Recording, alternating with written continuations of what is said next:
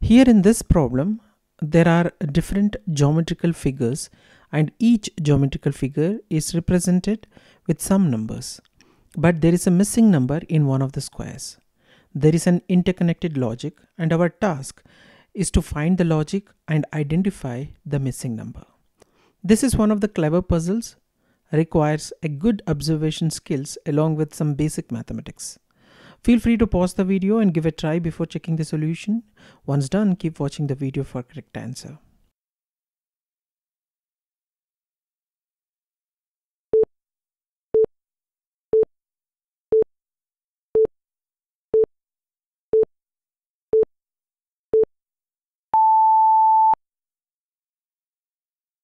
Let me explain the solution now.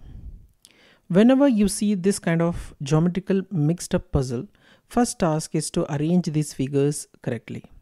Let's place all triangles in the first row and circles in the second row and squares in the third row. Now let's check whether we can perform some basic mathematical operations on the numbers in each row.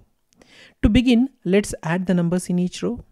In the first row, sum of numbers in triangles is 4 plus 11 plus 18 which is equal to 33. In the second row, sum of numbers in the circles is 5 plus 12 plus 16 equals 33. So according to the logic, sum of numbers inside the same geometrical figures is 33. So in the final row, uh, let the missing number be x. Hence the equation becomes 8 plus 19 plus x equals 33. After solving for x, x becomes 6. Thus the missing number is 6. By following these simple methods, we can find the missing number accurately and in less time. That's all for this video. Like the video if it found useful for you and subscribe to the channel and recommend to your friends if they are looking for similar content. Let us know if you have any questions. I will try to address as soon as possible. Thanks for watching and let's meet in the next video with one more interesting puzzle. Thank you.